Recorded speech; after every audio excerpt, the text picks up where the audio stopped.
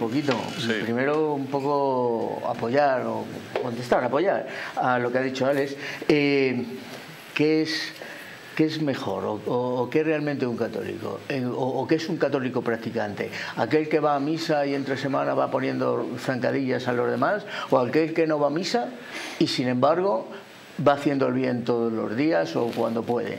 ¿Qué es un católico practicante? A la pregunta de lo que tú, a, lo que tú decías.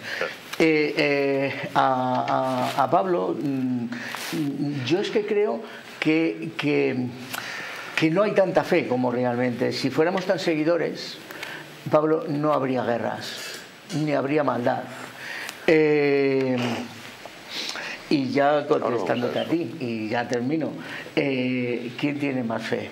¿Los que ven eh, o, los que llevan una imagen, mm, eh, es así, ¿no? sobre ruedas, ¿dónde está la fe? O el, que, o el que va andando. ¿Quién tiene más fe? Da igual. Entonces, es un poco lo que yo he dicho al principio, si recordáis, que todo esto ha cambiado, ha cambiado mucho. Y yo estoy de acuerdo contigo en que realmente se va un poco buscando la fiesta. Se va, hay una procesión que le llaman la procesión de los borrachos.